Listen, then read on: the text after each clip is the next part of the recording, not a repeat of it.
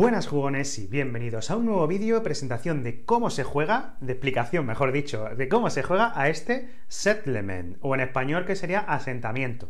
Aquí lo tenemos esta copia en ucraniano, que, bueno, eh, lo ha editado en ucraniano y en inglés eGames, que de aquí le mandamos un saludo, y estamos ante un juego de 1 a 4 jugadores con partida de duración aproximadamente unos 60 minutos y a partir de 10 años. Eh, como hemos dicho, actualmente no está en castellano, y eh, el juego de todas formas es independiente del idioma, o sea que si realmente veis el vídeo y sabéis cómo se juega con esta explicación, no necesitáis mm, saber ucraniano para poder jugar a este juego. ¿Vale? En este juego, ¿qué es lo que vamos a hacer? Bueno, pues cada uno va a tener como una especie de tablero mm, personal en el que vamos a ir construyendo diferentes asentamientos y vamos a ir eh, explorando diferentes localizaciones para ir poniendo esas losetillas que nos van a ir dando recursos y con esos recursos vamos a ir eh, invitando, como mm, no es capturando, pero sí que llamando a héroes que vengan a, nuestro, a nuestro asentamiento y esos héroes van a ser al final, juntos con algunos asentamientos, algunos edificios, los que nos van a dar puntos de victoria al final de la partida, a lo largo de seis rondas.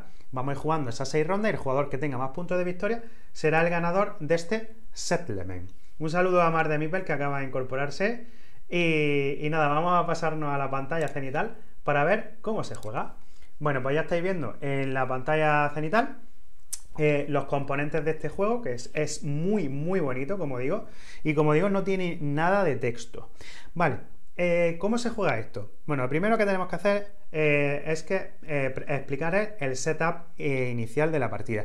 Solo he puesto un tablero para explicarlo, ¿vale? Porque realmente para explicarlo no necesitamos más tableros, así que a cada jugador le vamos a dar un tablero de estos individuales y le vamos a dar un recurso de cada tipo, madera, piedra y adobe o arcilla. ¿vale? Porque recursos tenemos piedra, madera y arcilla. Y luego recursos más calidades que son los diamantes y las monedas de oro. Y además tenemos aquí unas fortificaciones eh, que las vamos a ir capturando, que las vamos a ir colocando en una serie de, de losetas que vamos a ver. Además, a cada jugador le vamos a dar 6 colonos de este color, del rosita, y dejaremos en una reserva general los colonos eh, especiales. Estos, cuando lo usemos, son de un solo uso y vuelven a la reserva general. Los rosas son permanentes en nuestro tablero.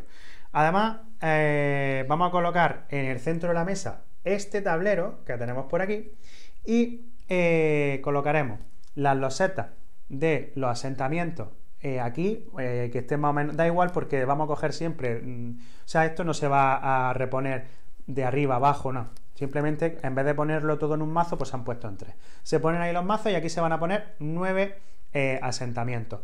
Aquí colocaremos eh, las fichas de terreno de 1, de 2 y de 3 para cuando vayamos a explorar, las cartas de héroe y aquí colocaremos las cartas de héroe como estáis viendo que tienen un coste. Estas cuestan lo que pone aquí arriba y esta además de lo que pone en la carta, esta costaría un diamante y esta dos diamantes además de lo que pone ahí. Además, vamos a colocar estos artefactos, que tenemos aquí una pila de artefactos, y en función del número de jugadores se van a colocar tanto artefactos como jugadores más 3. Por ejemplo, si somos dos jugadores, pues se colocarán dos artefactos más 3. Cinco artefactos. Los demás artefactos no nos harán falta y los, quitaremos de la partida porque no nos van a hacer falta. Vale.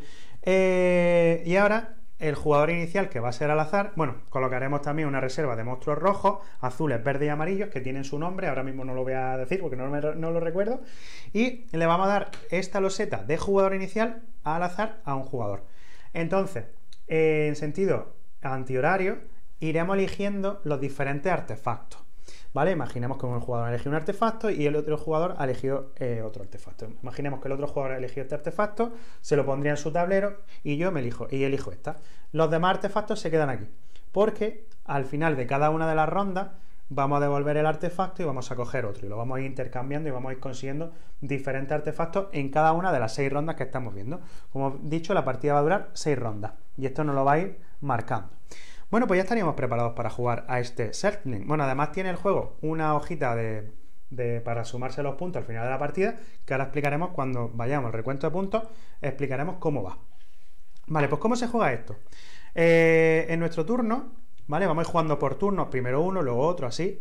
Podemos hacer dos cosas. Una, eh, invitar mm, a uno de estos héroes Y además podemos hacer una acción con los trabajadores, con los colonos que tenemos aquí, ¿vale? ¿Qué acciones podemos hacer? Pues bien, bueno, para comprar los héroes, el coste, como hemos dicho, es lo que sale aquí a la izquierda arriba.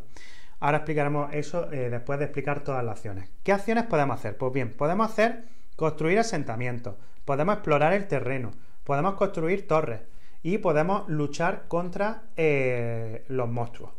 Y además podemos activar las diferentes losetas que tengamos construidas en cada una de estas filas. Esas son las diferentes cosas que podemos hacer.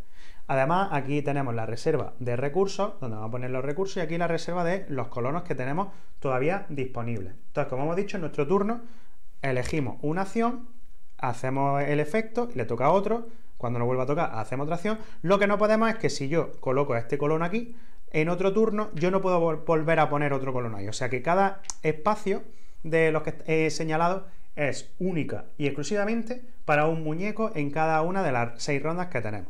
¿Vale? Bueno, como hemos dicho, cada jugador va a tener un artefacto y cada artefacto pues te va a dar una ayuda. En este caso, la ayuda de este artefacto que sale un muñequillo blanco es que yo en este turno voy a tener pues un colono especial de estos blancos, o sea que voy a tener uno más eh, para, jugar en, en esta ronda. Vale, ¿qué hace cada una de las acciones? Bueno, pues hemos dicho aquí colocar un colono sería construir cualquier loseta de las que tenemos aquí disponibles.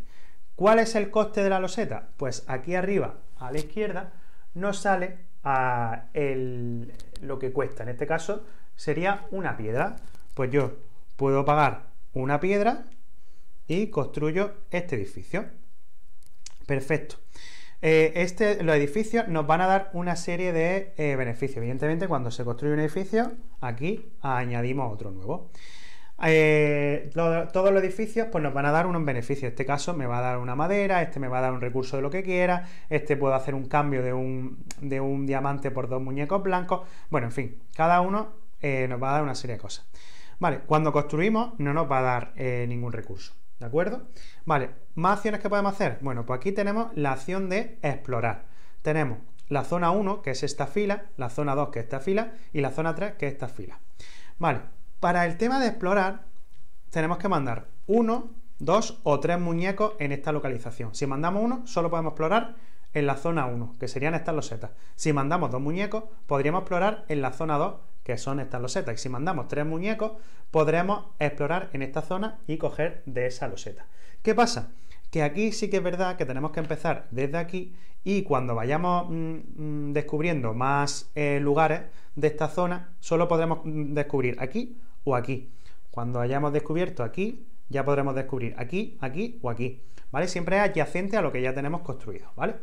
Entonces, como hemos dicho, ponemos el número de muñecos a la hora de eh, la fila en la que vamos a, descubrir el terreno. Este terreno nos, puede, nos va a salir siempre aquí, abajo a la derecha, un monstruo de un color. Rojo, azul, verde o amarillo. Vale, el color de ese monstruo, si coincide con alguno de los héroes que tenemos aquí, porque si estáis dando cuenta, abajo a la, derecha de cada carta salen los diferentes monstruos, los colores, ¿vale? Y eso es lo que nos va a decir si aquí sale un monstruo o no sale un monstruo. En este caso, como tengo una carta aquí amarilla, saldría un monstruo. Entonces aquí tenemos un problemilla, porque este monstruo hay que matarlo para poder luego eh, conseguir recursos de esa loseta.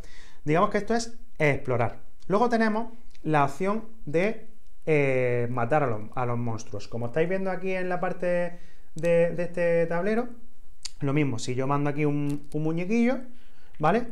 Eh, tendré que mandar un muñeco para matar a un bicho verde, dos muñecos para matar a un muñeco amarillo, tres muñecos para matar a un monstruo azul y cuatro muñecos para matar a un monstruo rojo. ¿Vale? En este caso, como es un monstruo amarillo lo que quiero destruir, bueno, que quiero matar, imaginemos que esto está así, y evidentemente yo puedo decidir a qué, a qué monstruo matar. ¿Vale? Imaginemos que esto está de esta manera. ¿Vale? Entonces yo pues digo, bueno, quiero destruir, quiero matar a un monstruo eh, amarillo. Pues tendría que matar, mandar dos colonos para matar al amarillo y mato al que yo quiera. Pues por ejemplo digo, bueno, pues esto. Vale, al matarlo, además va a obtener un beneficio. Si mata al amarillo, te lleva una monedita. Si mata uno verde, te lleva un diamante. Si mata un azul, dos monedas. Y si mata al rojo, un diamante y dos monedas. ¿Vale? Bueno, Pues ya tendríamos esta localización vacía. ¿Qué significa esto? Que aquí ya podemos eh, obtener eh, diferentes beneficios. Vale, luego aquí eh, construir fortificaciones, torres, si nos colocamos aquí, sería con un muñequito y en cualquier loseta de esta de, de terreno de exploración, si no tiene monstruo, le podemos poner una torre.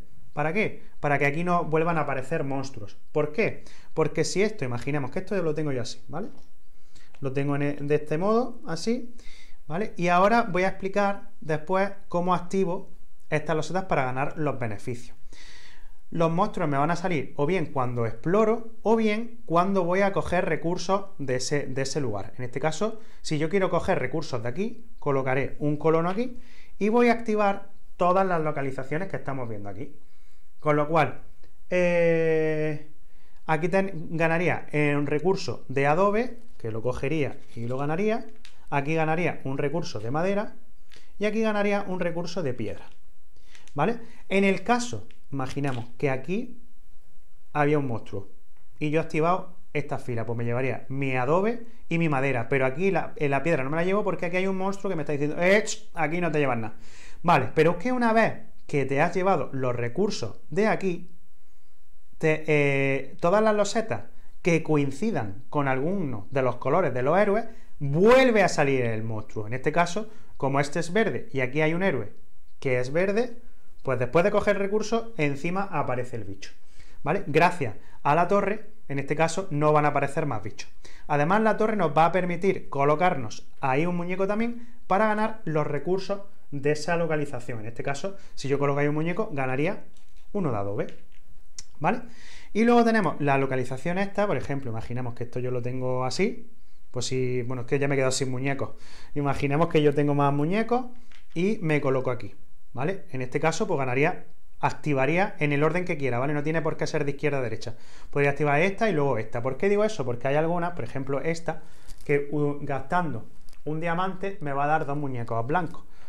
Esta, por ejemplo, que es para el final de la partida, por cada diamante que le vaya poniendo a la catedral, al final de la partida me va a dar 4 puntos de victoria.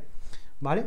Esta, por cada moneda que, le ponga, me va a dar dos cristales. O sea, al final es el cambio de lo que nos ponga ahí para obtener ese beneficio. Bien, bueno, pues vamos a ir jugando las diferentes cosas, porque como hemos visto, esto lo podemos hacer, eh, vamos a ir haciéndolo uno por uno, las acciones, y en cualquier momento aquí tenemos una serie de cambios que podemos hacer eh, en cualquier sitio. En este caso yo puedo cambiar dos recursos de lo que sea, de los eh, naturales, de los normales, que son los de arriba, por uno. Ya, yo podría cambiar un adobe y una madera por una piedra. ¿Vale? Luego, eh, puedo cambiar un adobe, una, piedra y una madera por un cristal. También puedo cambiar dos cristales por una moneda y una moneda por cualquier recurso. Esto lo puedo hacer en cualquier momento. ¿Por qué? Porque en el momento en el que yo acabe mi turno, paso. ¿Y cuando paso, qué tengo que hacer? Pues bien, cuando paso, eh, lo primero es que los muñecos blancos los pierdo. Los rosas vuelven a, ojo, que lo tiro todo, a mi lugar de, al lugar de origen. ¿Vale? Eh, además, esta loseta la devuelvo y me cojo una nueva. No puede ser, evidentemente, la misma. Y además, todos los recursos de aquí arriba que, no, que, que me han sobrado, los voy a perder. ¿Vale? Estos recursos se pierden, a no ser que tenga fortificaciones. Por cada una de las fortificaciones que tenga, puedo guardar uno de los recursos de estos mm, malillos, digamos, de los normales, de adobe, piedra y madera. Entonces, como solo tengo una fortificación, pues perdería todos estos recursos. Evidentemente, pues voy a cambiar, porque si dice que el adobe, la madera y la piedra me da un este, pues cojo. Pues estos dos, de adobe lo cambio por una piedra. Y ahora, eh, la, la piedra, el adobe y la madera los cambio por un diamante. Que el diamante y el dinero no se pierde. Sin embargo, la madera sí se perdería. Pero como tengo una fortificación, esto sí podría guardármelo. ¿Vale? Y ahora, cuando ya todos hemos pasado, bueno, evidentemente esto se va a ir eh, regenerando. Cuando hemos pasado todo, tenemos que comprobar si alguno de los edificios que tenemos aquí son exactamente iguales, como por ejemplo pasa aquí. Pues cuando pasa eso, tenemos que unirlos para que no haya edificios repetidos, ¿vale? Y sacaríamos hasta rellenar todo otra vez. Si ahora al sacar hay otro edificio que sea igual, no pasa nada, se deja tal cual, ¿vale? Y en este caso, eh, al final también de la ronda, eliminaremos el, el héroe más de la derecha, lo quitamos de la partida y esto se desplaza para sacar un nuevo héroe, ¿vale? Esas son las diferentes acciones que podemos hacer. Además, en nuestro turno, como hemos dicho, podemos hacer nuestra acción de colocación de trabajador y podemos antes o después eh, contratar o, invitar a uno de estos héroes, que como hemos dicho, el objetivo es tener héroes porque van a ser los que nos van a dar puntos de victoria y algunos edificios como son las catedrales y otros edificios que pagando monedas nos van a dar puntos. ¿Vale? Porque como hemos dicho, si nosotros tenemos esta catedral y al final de la partida hemos ido poniendo aquí cristalitos, pues por cada cristalito que tengamos en esa catedral nos va a dar cuatro puntos de victoria, ¿vale? Y además los, eh, los héroes que hayamos conseguido también nos van, a, nos van a dar puntos de victoria, que digamos que es lo más importante. ¿Por qué? Porque nosotros cuando compremos uno de estos personajes, ¿vale? De estos héroes, lo, pagamos lo que pone aquí arriba, en este caso serían tres piedras y un diamante, y como está en esta posición, un diamante más, y nos lo vamos a llevar a nuestra zona de juego, que la vamos a poner la vamos a coger y lo vamos a poner boca abajo, así que nadie va a saber qué personajes tenemos, simplemente cuando lo hemos comprado. Vale, los personajes abajo a la derecha nos salen una serie de cosas que nos van a dar. En este caso, cuando yo contrate a este héroe, cogeré dos muñequitos blancos y me los colocaré aquí. Eh, como he dicho, los personajes se van a ir, los blancos siempre se van, a no ser que no lo hayamos usado y lo, hayamos dejado aquí en la zona esta de reserva, porque no lo hemos usado y lo guardamos para una siguiente ronda si no lo hemos usado. ¿Vale? Y ahora estos personajes arriba a la derecha nos va a poner cuántos puntos de victoria nos va a dar al final de la partida. En este caso nos va a dar un punto de victoria por cada torreta que tengamos en nuestro tablero. ¿Vale? Este nos va a dar un punto de victoria por cada loseta que tengamos de estos terrenos explorados. Un punto de loseta, o sea, un punto de victoria por cada edificio que tengamos aquí. ¿Vale? Esas son las diferentes cosas que nos van a dar. Por ejemplo, este directamente me va a dar 6 puntos de victoria. ¿Vale? Cada uno nos dará los puntos de victoria adecuados. Y como he dicho, cuando acabemos las seis rondas, cogeremos el blog de notas y anotaremos la puntuación que tenemos. Con los héroes que nos dan puntos de victoria, pues lo que nos dé. Los de edificios, lo que nos dé. Los de terreno y los de torreta, pues lo mismo. Y luego los edificios que hemos dicho de diamante y de oro, y sumamos, y el jugador que tenga más puntos de victoria, pues sería el ganador de este segment.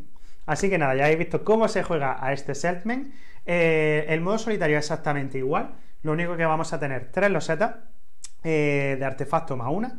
Cogeremos una y luego ya, después, siempre vamos a la loseta que hemos usado de artefacto, se, elimina del juego y sacamos una nueva más. O sea, una, una nueva loseta. O sea, siempre va a haber tres losetas. Y se juega exactamente igual pero nada más que jugamos solo. En el momento en el que acaben esas seis rondas, comprobamos nuestra puntuación y ya pues vemos el nivel de, máquinas que somos en, este juego de Setmen. Así que nada, dejadnos en los comentarios qué os parece este, este juego, si os ha gustado, si os llama la atención, si tenéis ganas de jugar, no sé, lo que siempre os decimos, un poquito de, de feedback que nos gusta mucho que escribáis, que dejéis comentarios. Y lo de siempre, que si ha gustado el vídeo, que le deis a me gusta, suscribiros, seguidnos por las redes sociales y dale a like, dale a like que nos encanta ver los vídeos, hay un montón de likes vuestros. Así que nada, jóvenes, que nos vemos en el siguiente vídeo. ¡Hasta luego!